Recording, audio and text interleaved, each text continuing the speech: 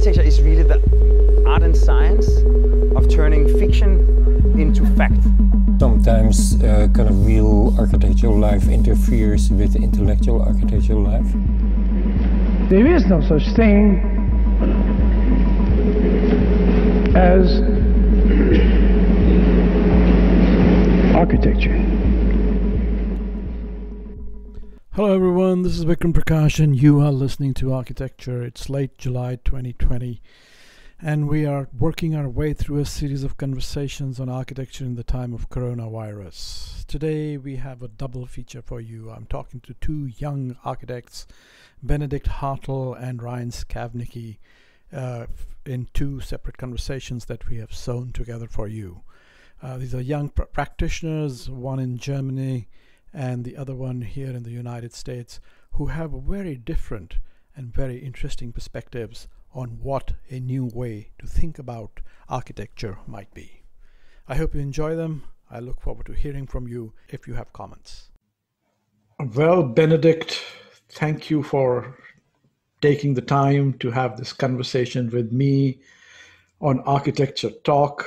It's good in these days of coronavirus you are in Munich, I'm in Seattle, but through this uh, digital channel, we are sitting in the same room uh, and having a chat. Uh, and uh, uh, I went through, I was looking at your website and I was looking at your work. And I was very intrigued by the amazing and fascinating projects that you have put up in some significant detail in your office, which you call opposite office, which we will talk about in one minute. And uh, we will talk about what, what the nature of practice that you follow is all about. But uh, first, uh, I was very intrigued by a project that you put up offering two projects which I were very intriguing and have got some press. Uh, one is the proposal to convert Berlin, the, the new uh, long construction airport in Berlin, and saying, well, it could be used as a COVID 19 hospital. And you have also made a proposal to convert Buckingham Palace into a co housing situation. Let's start by asking you about the motivations for those two projects. They are actively transformative, they're actively insertive, they actively try and repurpose certain buildings in a proactive manner. Is it is it is that what you mean by opposite is that what it is to do opposite programming? So, first of all, hello, Vikram. Thank you so much uh, for having me here. It's a pleasure for me uh, to be part of this academic discussion in the States. So, I'm very delighted um, to be here. So, um, the thing about opposite, um, maybe it comes from my personal experience or my personal being. That also, when I was a child, I tried to think in different ways. So I never wanted to be the majority. I always wanted to be um, something else. That's maybe one part of the name. And the other part is maybe also that I actually never wanted to become an architect. So I studied architecture. I was fascinated about architecture. But um, the work in the office like the daily work was never like the thing what I really was interested in. So maybe that's the point of um, the name itself. You say you're in the office is about architectural stories. Yeah, it is about stories. And I mean, at the beginning of your podcast, you hear this um, the voice of uh, Bjarke Ingels, who tells us what architecture is. Yeah. I think he says like architecture is turning um, fiction into fact. fiction into fact. Yeah. And maybe that's not the thing what i believe because i believe architecture can also stay in the fictional world. Mm. i think it doesn't have to become reality because architecture for me is like a very holistic way of thinking. And this means like we're also producing ideas, also ideas about our society, and that's also part of architecture. So, so tell me, me why that is part of architecture. I completely agree with you. But why are architectural stories the same as architecture? Let's say architecture, simplistically understood architecture as buildings. Yeah, that's right. But I mean, building is something what is very much connected to our society. The like buildings, they, they on one hand they define how we live, and on the other hand, how we live define our buildings. So it's also like a, um, like a mirror of our society, and I think that's also like an important part of architecture. What what does narrative architecture or architecture as architectural stories? How does that help? How is that in your worldview? Why is that a critical thing? So first of all, I think it's like it's speculation, and speculation is always grounded in the present. So no matter how fantastic it may be, it is really about the present moment, and there it can be, or mostly it is a critique. So it also shows us maybe how to improve things, and also it shows us what is absent in the present and in a way it is like a like it also is, has the meaning of escape. So um, it is an unwillingness to accept the world as it is and to fight for fanciful words of make believe so and i think that's like narrative architecture. So it, it will like it will produce something else and somebody else will think about it. And maybe this just changes our way of thinking and mm-hmm. in a way it also rewrites the rules in what the real actually is yeah so, so we produce like, yeah, we produce sorry. thought and that produces architecture then architecture produces thought and thought can produce uh, buildings you know so they're both connected interconnected as two parts of a of a dyad two parts of a system is that what you're saying yeah it is I think it's like um, it's also a way of testing. So before you really change something in the built environment, I think you have to change it in, in ways of speculation. Mm-hmm. So I think speculative architecture is bringing like the present and the past, but also the future together. And that's what what what what, what I'm very interested in. Tell us about the uh, Berlin uh, airport project then. Well, um, the Berlin airport project is like we there's being built a new airport um, since 16 years in Berlin, so it's the third airport. But as in, as you might know, in Germany, it's very difficult to get up this uh, big project. So we have like um, problems with um, fire protection. There are so many rules, so that it makes it very difficult um, this this big projects to happen. And in a way, I think that this, this society already changed. So 30 years ago, it was it was common to go on vacation just for a, like for a weekend um, to fly somewhere in Europe. But right now, like um, we have pupils around the whole globe going on the streets and demonstrating against the climate change. And therefore, I think that flying has another meaning after 13 years. And you think flying is declining? It's becoming more obsolete? It is at least a little bit more. I, I don't know how it is in America, but in Europe, it's not like um, this hip as it was once before. Mm. So um, I think there's like a word we call it uh, flying shame. It comes uh, from Sweden. Flying um, shame. Yeah.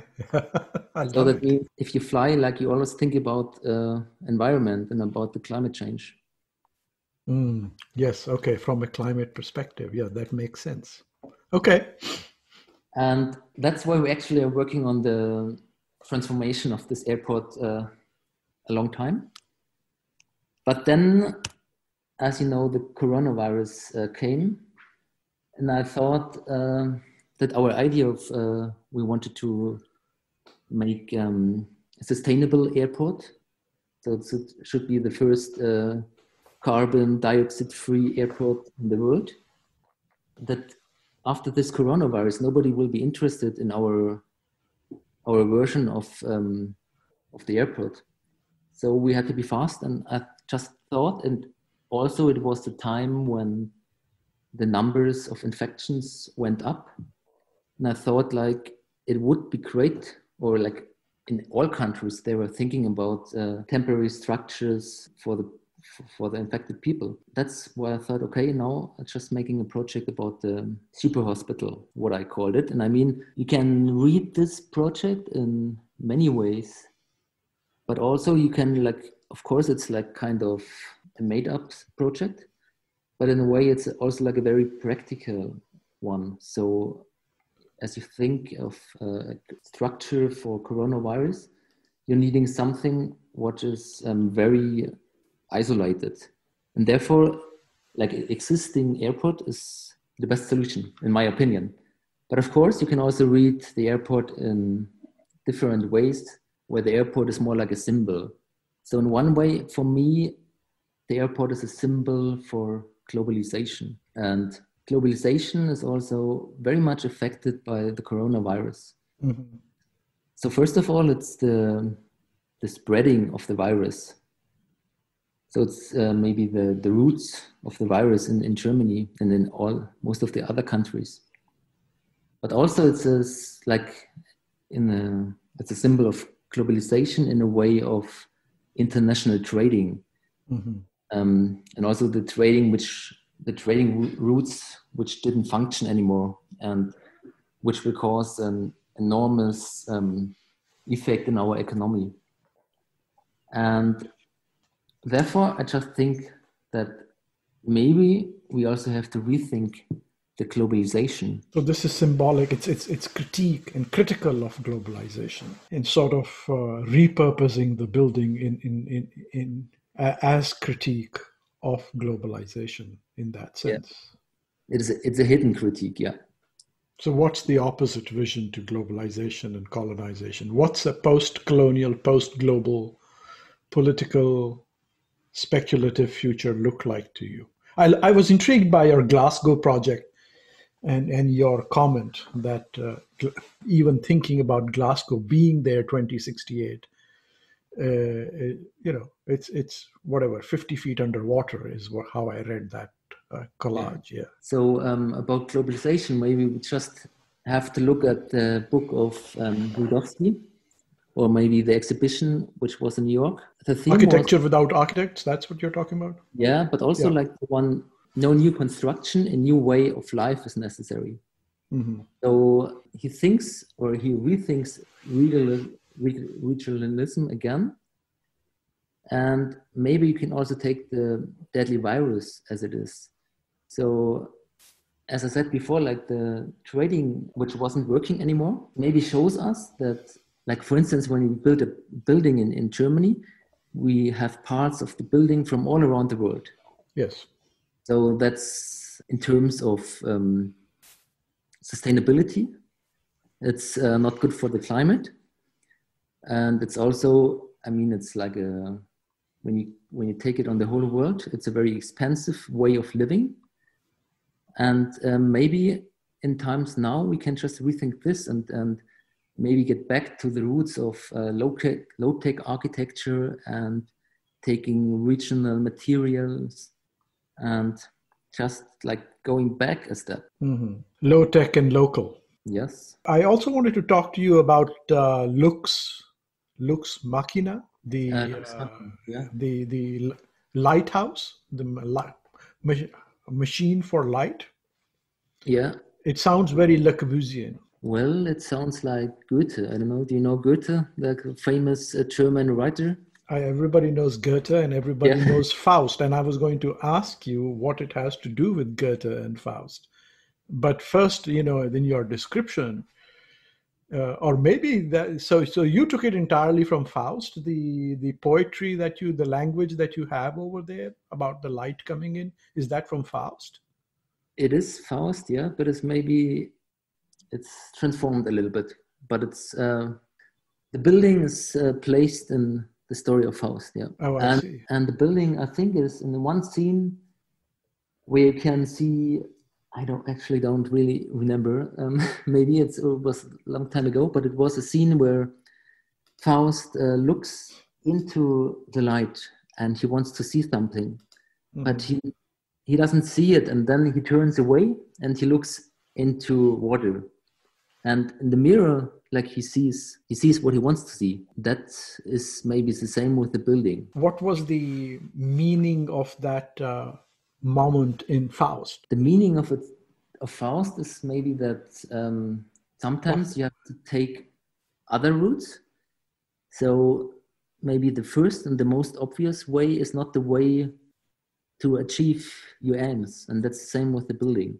Yeah. So it's like very interconnected uh, interior where like this is like a and in every room so you have like different rooms every room has connection to the sky and it's like i mean it takes you time until you find your way through the building. Mhm, mhm. i think that's the same with architecture and also with society. So mostly the decisions what you make which are made like very fast they're mostly not the the best ones. So and sometimes you have to as i said before and also maybe that's kind of the opposite office thing is that you just think the other way around. That's what like we try to do if we have a project. We also we start at the beginning with the task itself. So we, we try to rethink the task and um, that sometimes gives another aspect to the project. Mhm. Well, I would have imagined uh, in Faust, you know, light is usually the, the traditional metaphor for knowledge, right? yep And looking at water and looking at reflection is the traditional metaphor for narcissism. yeah And, and in Faust, of course, that's the battle between, uh, you know, divine and human knowledge, right? yep That's between uh, spa- between uh, abstract knowledge and more contextual knowledge, I suppose, in your terms. Looking at water is more contextual. Looking at light is more abstract. So Plato, you know, said you must look at the source of the light, but uh, Faust set the problem of the Enlightenment as that of how do I see knowledge in the realm of the human. maybe we can turn this to the topic of your uh, podcast which is um, coronavirus Mhm. So how do you think uh, this will affect um, or what do you think uh, will change in architecture?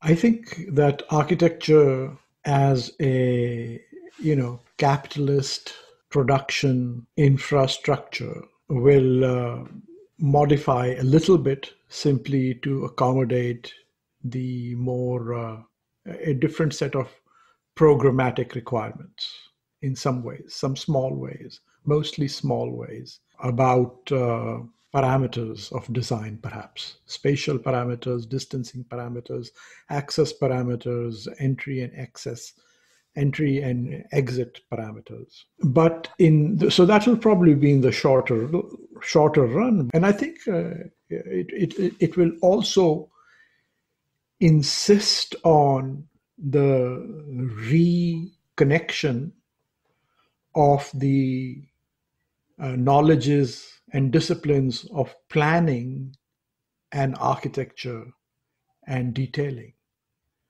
Uh, we have to produce better synergy across those disciplines and even beyond into sociology and public health. And this has become very obvious today. When there is a pandemic, the solution is six feet. Now, six feet is a very specific architectural solution.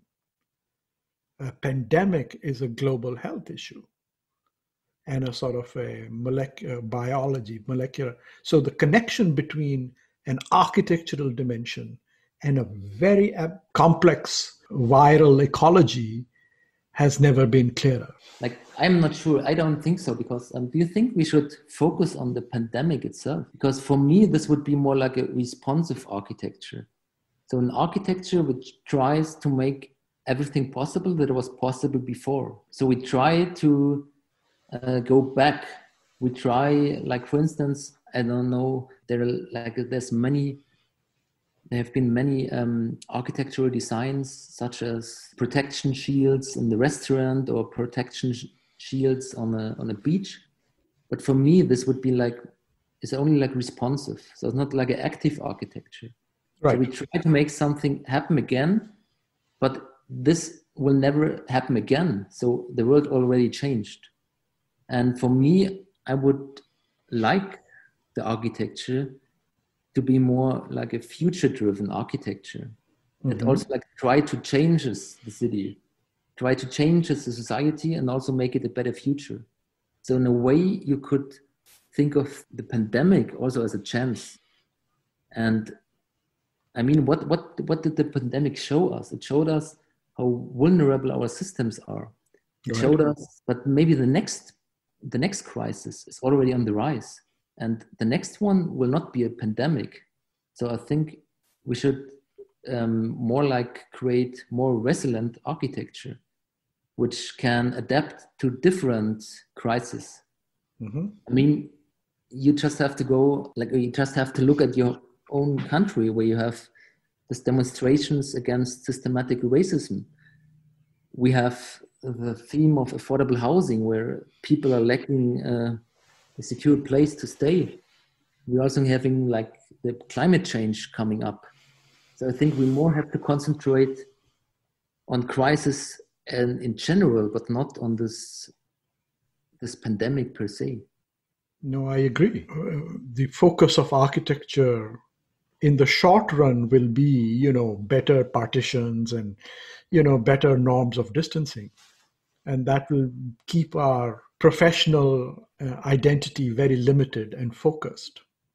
But what will shift is that, you know, the intermediate scales of thinking new social systems, new social values, and thinking new protocols of health and hygiene, public health and hygiene. Those will have to be shifted. And some of the shifts that have to happen over there will not come out of simply data driven scientific analysis like they do.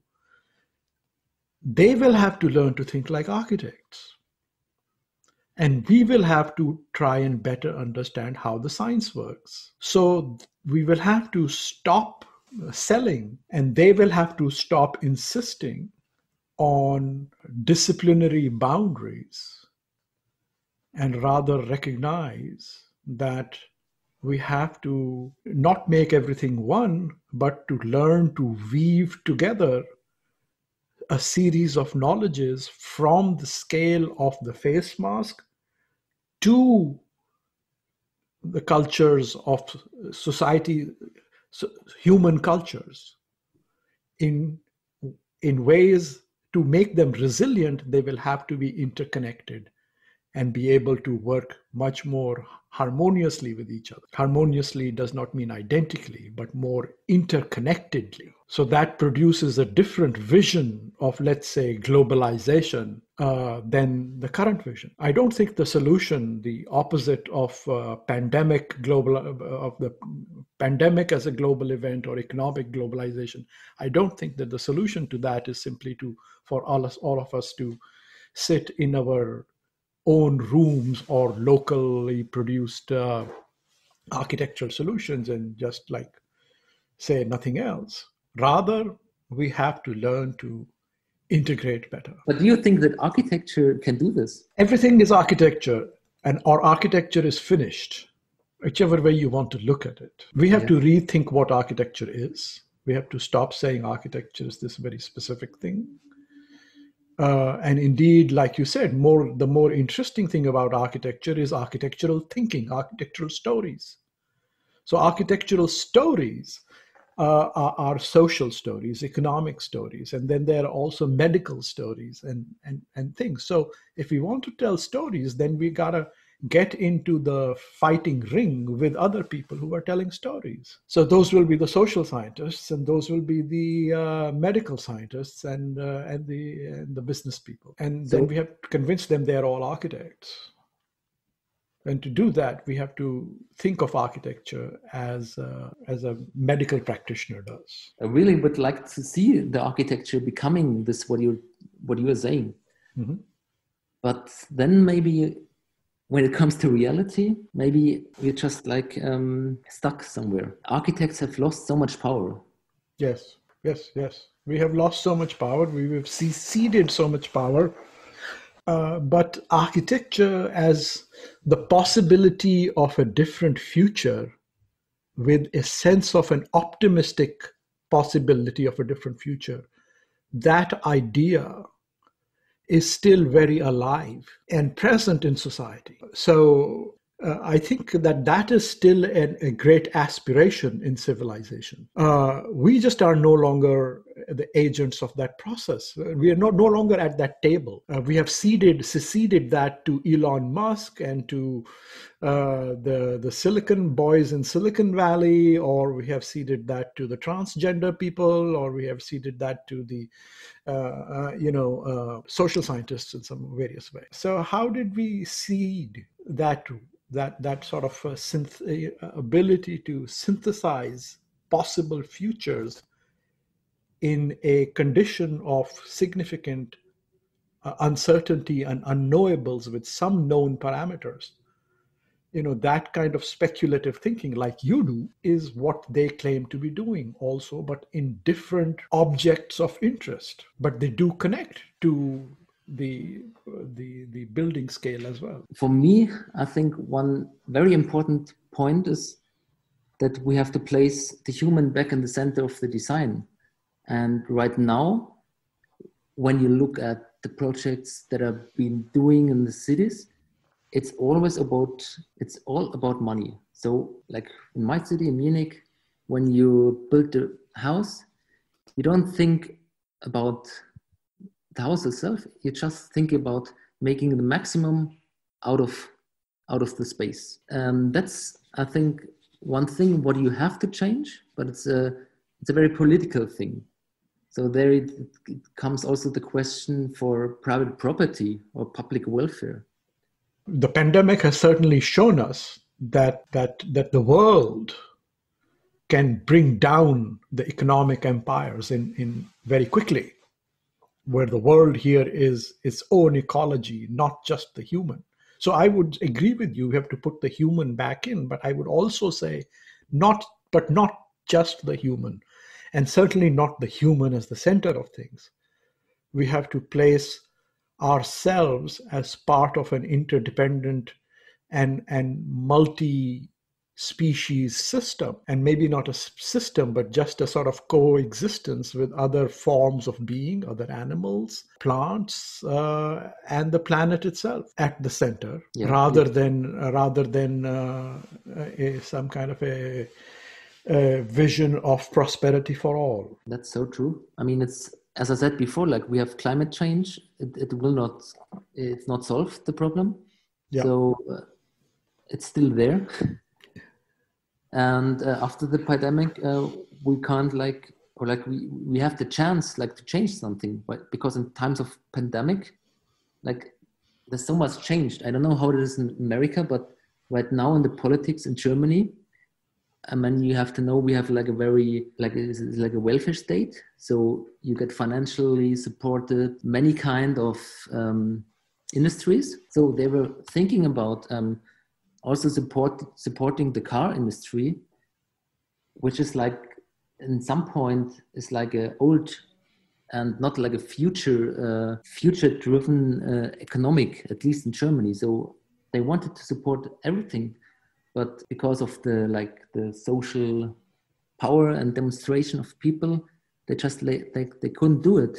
You know, one of the great uh, uh, misfortunes of the rise of the West with colonization and now with globalization is the huge amount of wealth that was generated via colonization and via industrialization. And one of the, I feel, really sad effects of that was that wealth, and wealth as in material wealth, became the primary measure of wellness.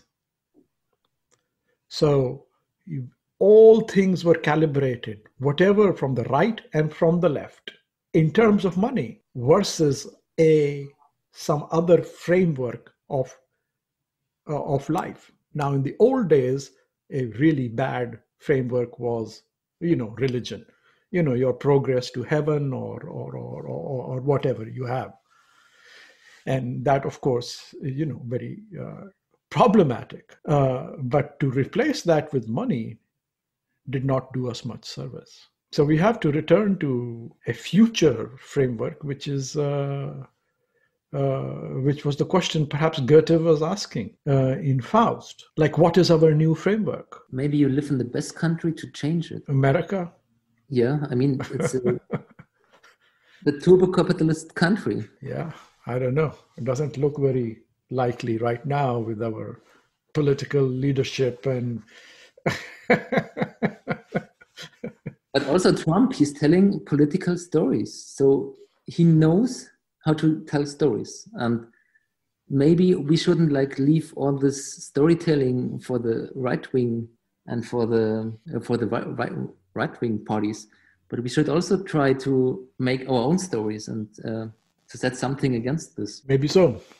I was looking at uh, uh, at your at your bio and it said you went to school in Dar es Salaam uh, and that you lead the research on uh, on, on a low, low cost uh, housing lab. So I get some sense of your interest in low cost. But uh, what were you doing in Dar es Salaam, and uh, did that have any impact on your thinking? Um, Dar es Salaam, it was like an exchange exchange year. I think the main thing why I was there was in my architecture school we had to do urbanism and I don't think, or I didn't think at the, at the present moment, that the way how they taught urbanism in my school was was very productive. So we we looked up on on plans from above, and it stayed very much in, the, in this. Um, was, there was not much behind this, and that's why I tried to do something, or like I wanted to do urbanism in Dar es Salaam,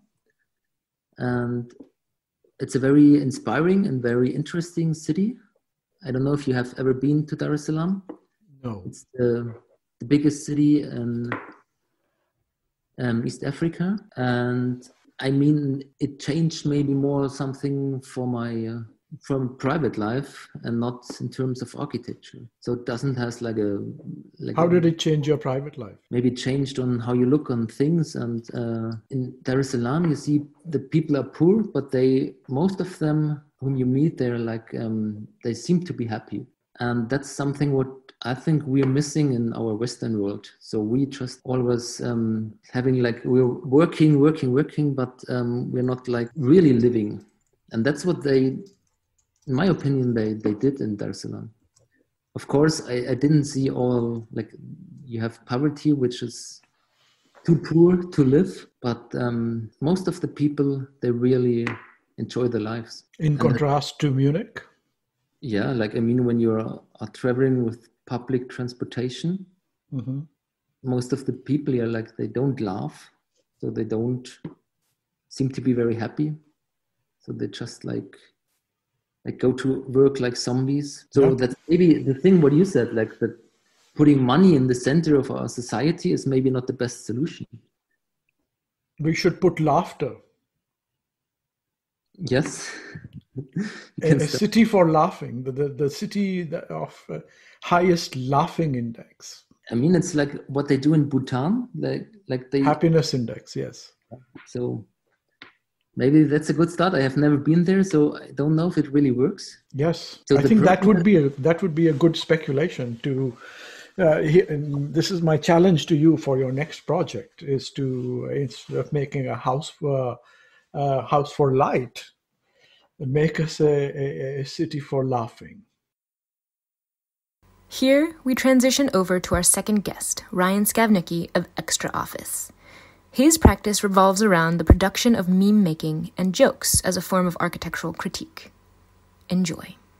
All right. Well, welcome to Architecture Talk, Ryan. Thank you for doing this. Uh, I'm looking forward to our conversation, particularly in these very extraordinary times of uh, architectural social isolation mm-hmm. uh, at the time of coronavirus. Uh, let me start off by perhaps quoting you. Mm. I have found you, you, you, have, you have said that uh, I believe wholeheartedly that we must amplify our dialogue to be more inclusive. Mm and rely less on the historical canon. And I mean, I presume you here mean the historical canon of architecture primarily mm. That has been written for us. Uh, I'm also interested in how new conversation about architecture architecture is necessary and changing makeup can change architecture itself mm. rather than just its representation. Mm. Uh, and what I think you are talking about over here is, Uh, uh, you know, to further quote you, my work is interested in aesthetics, contemporary culture, and media to seek new channels for critical practice. I have been asking the question what does it mean for a meme to hold aesthetic implications and critical content? And I'm interested in asking how can I make a meme into a building project. So, Ryan, for those of us from a somewhat different, uh, let's say, generation, tell us what you mean by a meme and how it can be a building project. Awesome. Hey, thank you so much um, for having me. When I, when I say a meme, um, we're generally talking about the it, there's kind of two two sort of big definitions of memes, right? Uh, there's the more general uh, uh, mimetic term for sort of a unit of cultural transmission, which can be anything from you know saying "God bless you" after a sneeze to the Macarena mm. to um, uh, you know any sort of these these learned cultural behaviors and um, but the more specific definition, of course, is an internet meme, which would be uh, those those pictures you see on the internet usually have uh, a caption or a t- text on them that uh, you know precariously judge or they showcase maybe a contemporary problem with um, uh, with humor, uh, but sometimes through that humor exposing a kind of deeper issue. Um, and mm-hmm. and those are the things. Uh, basically, maybe uh, a few years ago, studying uh, a, a, postgraduate degree at SCI-Arc, where I just thought to myself, I don't know what is going to come of this, but I need to start doing it. And so I just started uh, generating uh, memes about architecture on my Instagram and just tried to really at the beginning only come up with a position at all that was legible through these things? Like i, I wasn't sure how how much i could say you know? I was a little like mm-hmm. this is my first thing is to test how much i can say. Uh, is it possible to you know create a, a, a, discussion about architecture? And and i think uh, one thing i've found is that um, yes, I mean, you can say anything and you can absolutely have deeper discussions. It's that the discussions happen through a sort of critical mass and buildup of this type of content coming from the same page and and sort of working um, its way into the lives of of the people who are following the account. So what I mean by that literally is just you know, maybe every day I'll try to post a small meme which has some kind of criticism. Some, you know, I would say 70% of the time it's just a silly joke.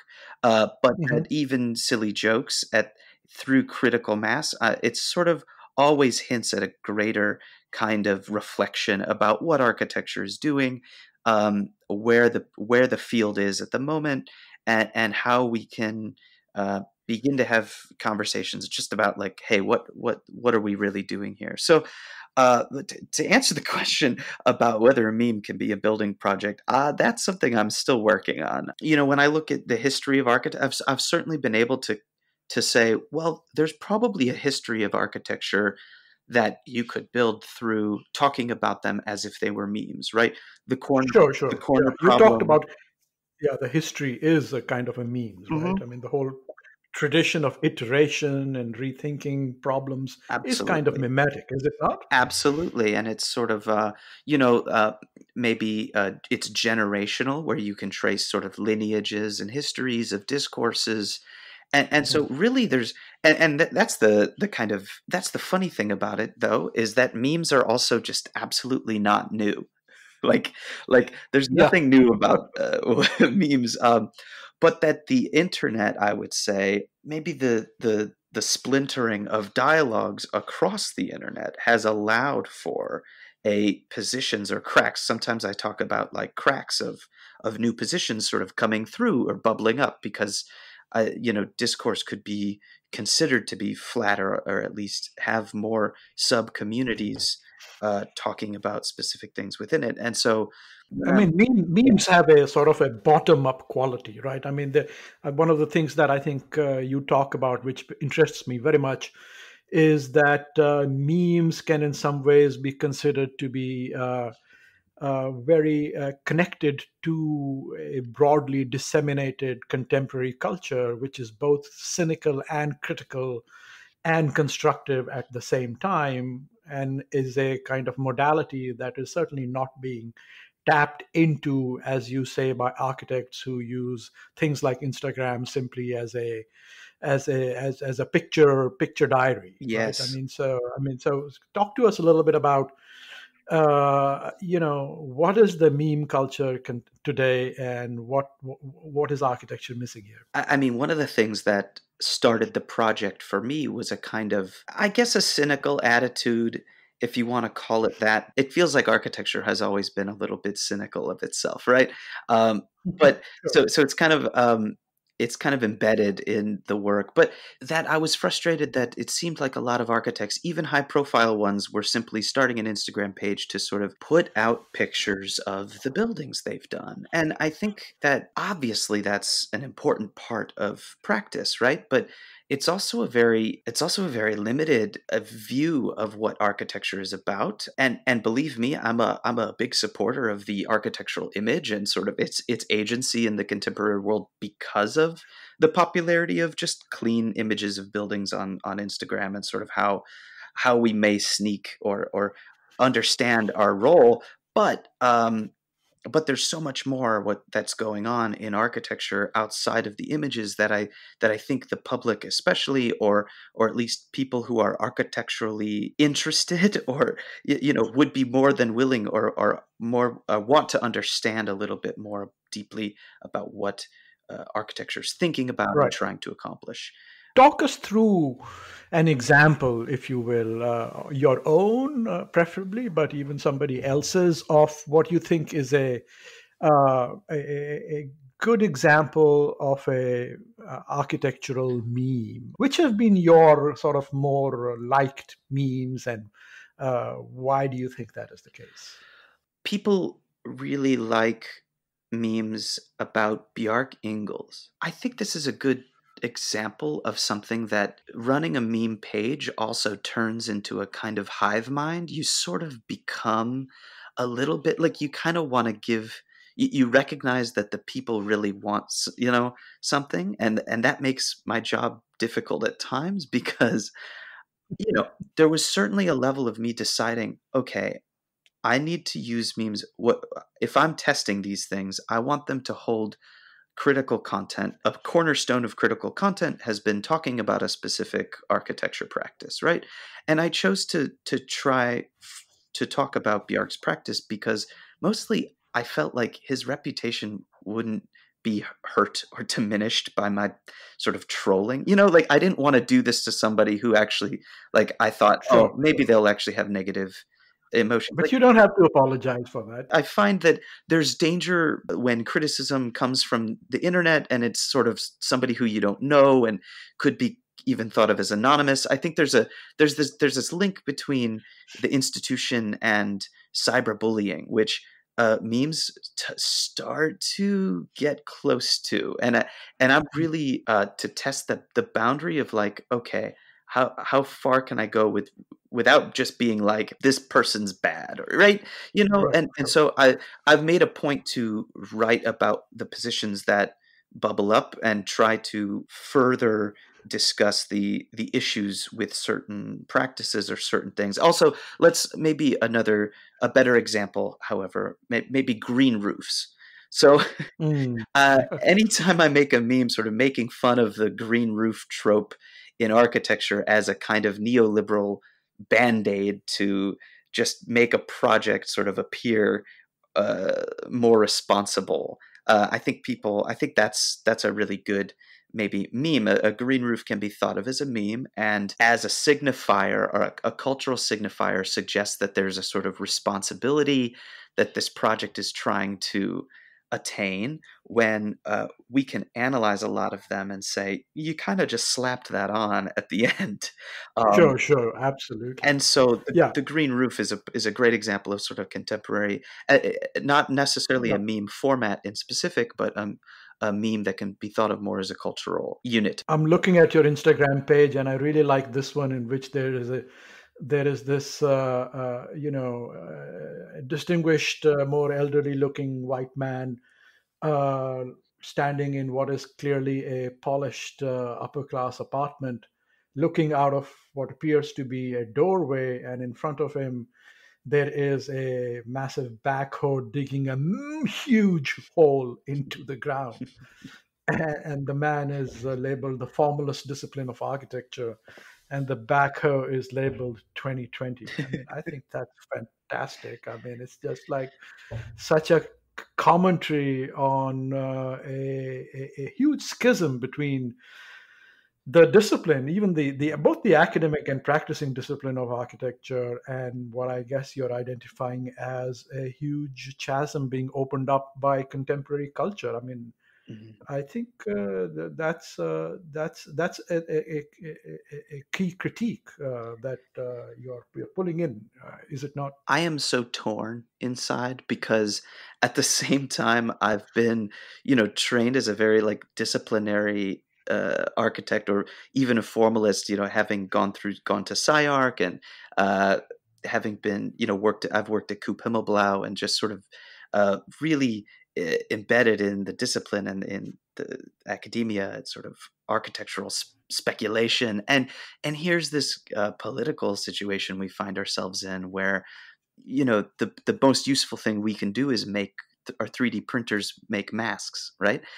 At the same time, it's a failure of many other entities that were also producing masks not to say it's our fault right? But that uh, suddenly the you know formalism or the discipline or these uh, sort of speculations i think are so important to remember what the what the real job of architectural speculation is right? To imagine better worlds and to try to project and see our world in a new way because we're thinking about these you know maybe even a utopian project or a, or, or just a specula- speculation and that th- that's the value right now that we maybe need to recover i'm sort of torn because it seems like the world needs more architecture but less buildings and right, and right. it's like how do we find ways of taking architectural ideas or architectural thinking or architectural speculation and still build it into the public imagination without necessarily building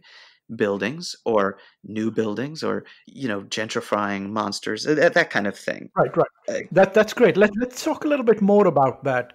You know we need more architecture but maybe not more buildings. You know what do you mean by architecture in this context? What is your expanded aspirational definition for uh, what an architectural practice might be? Well my own practice i am am using media in different ways to try to build up a critical discussion about architecture and I think in this way, um, the practice itself is looking to be sustained by by just the interest of the public rather than either institutions or newspapers. I think the the the role of the architecture critic or the architecture academic, like uh, we don't have that many extra institutional architecture roles, right, in the discipline. You either teach or maybe you write at a, a publication, and and Right. and I think um, for the first time, Or you make a podcast, yes. Right, exactly. Right. And I, I think the times are also sort of forcing our hand, but I, I think it's time that architects move, manip- try to move discourse outside of the institution. And one of the special things I saw going on at SCI-Arc was that architecture seemed to be, architecture seems to be seeping outside of itself into into other arenas, especially through media. And I think that's a, a real important. I, I don't think that's an accident. I think that's happening because there are just a lot of opportunities in in other through other mediums to explore what architecture might manifest as through these mediums and or architectural thinking right which is sort of just our ability to think and talk about new worlds and visualize or imagine them in different ways. And maybe that visualization or that how do you understand another world? Maybe that's through video games or maybe that's through podcasts or maybe that's through uh, memes or drawings or it's etc film right um, Mhm. and that that is the core of what we have to hold on to as a particular as a knowledge that is particularly held by architecture as a discipline right Yeah, I mean, it, it seems like you know, architecture is, as practiced, is either a commercial capitalist uh, workhorse or is this high aesthetic, uh, you know, art form for for for the privileged uh, few. Mhm. Uh, whereas uh, what I garner from the work that you're doing, and uh, you know, to to, to in, in one sense how how how to make uh, architecture into a daily cultural practice uh, through memes suggests to me that uh, perhaps architecture memes seem to me to be something like have have carnivalesque qualities right i mean they have a sort of a a, a, a funny but serious critique of contemporary culture, particularly high culture embedded in them. And how could architecture take on take on that garb or take on that role to be more embedded in contemporary culture? Is that a sort of a possibility for an expanded sense of architecture? this is this is a great point you bring up because with my work like trying to criticize individual architects or even individual buildings through memes has felt kind of like a dead end Uh, uh, or well maybe let's say just not that effective like i think uh, people kind of like it if you just you know kind of dig on somebody but um, at the same time i think the more important work is that you can by by sort of being cynical or or or or having a comedic take about architecture culture, you can change architecture culture. And if you change architecture culture, you can change architecture in a more effective way through criticism than say point out what architects do that's bad, right? Or point out a Mhm. specific architect and say, "Boo!" You know, don't be like that architect.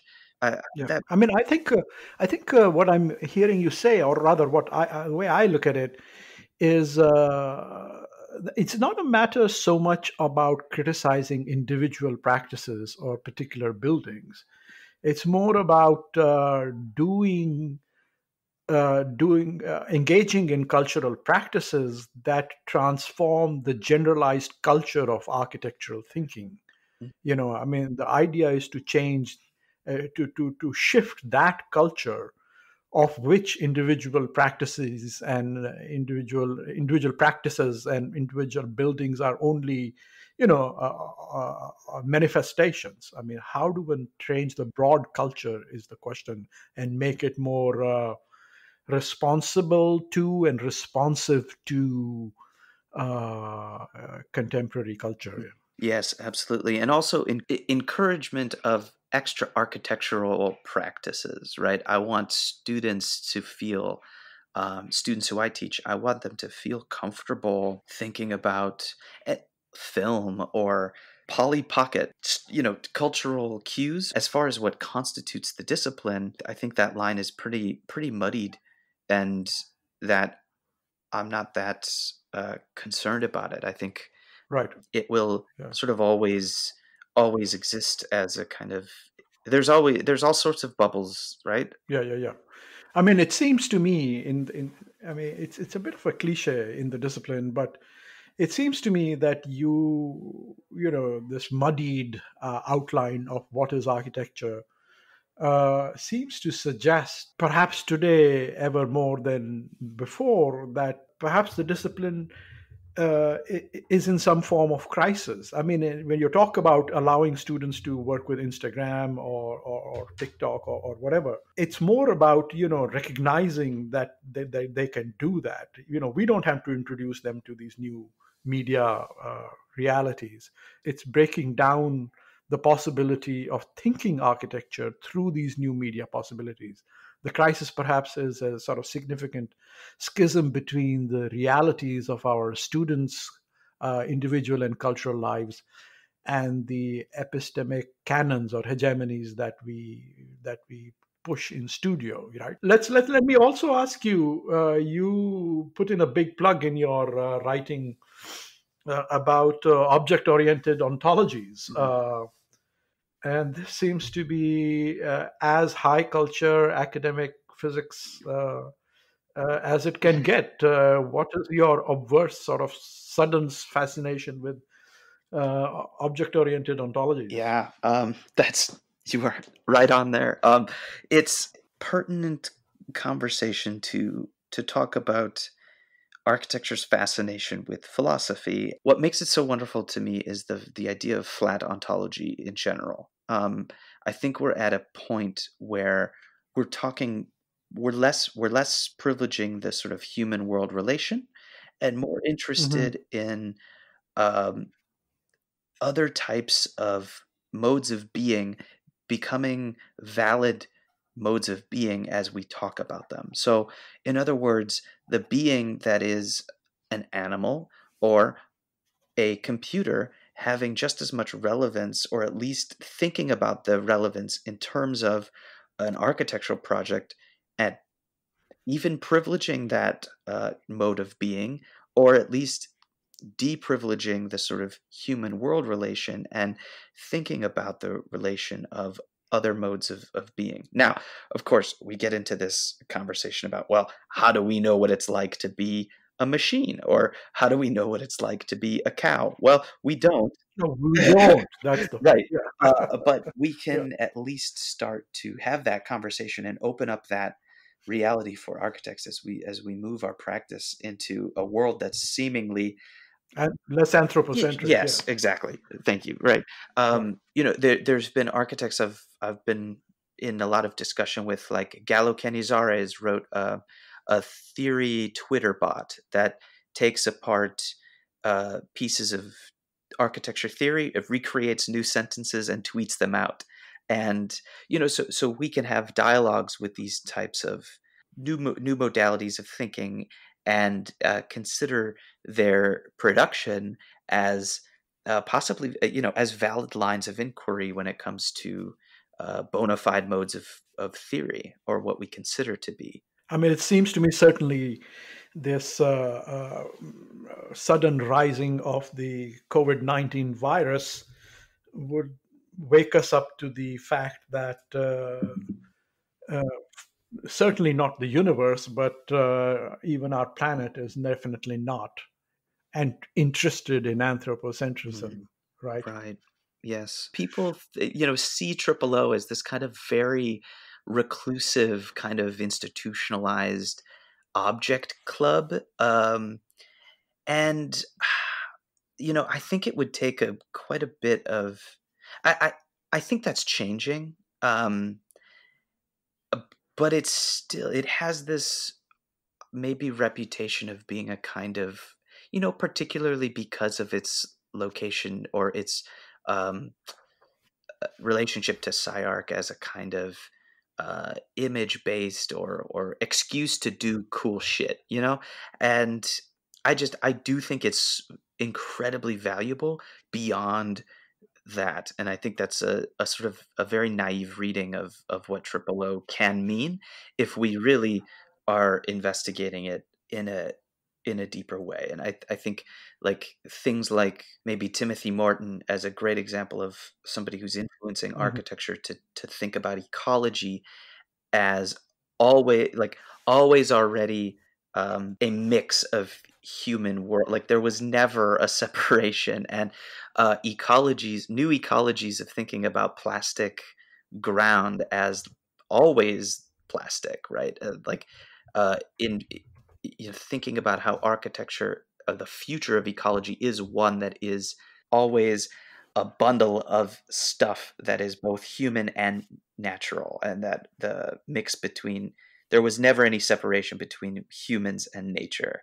and i think that's a point that we as a discipline have to recognize and i think that the sort of triple o brand maybe in architecture is is thought of as this kind of highfalutin thing when it's like, oh man, we we really need that to to to be understood as just a line of in, a new lines of inquiry. So I think triple O is sort of already happening, but people aren't calling it that, or you know, or or people are are not directly relating back to the philosophy, but they're doing the work that the philosophy is maybe thinking about in in different different ways or uh, you know you don't have to call it triple o to just say hey i want to make a project about sustainability that decenters the human. Like that you don't have to call it a triple o project to, to do that. Uh, so uh, ryan thanks for taking the time and for being on architecture talk.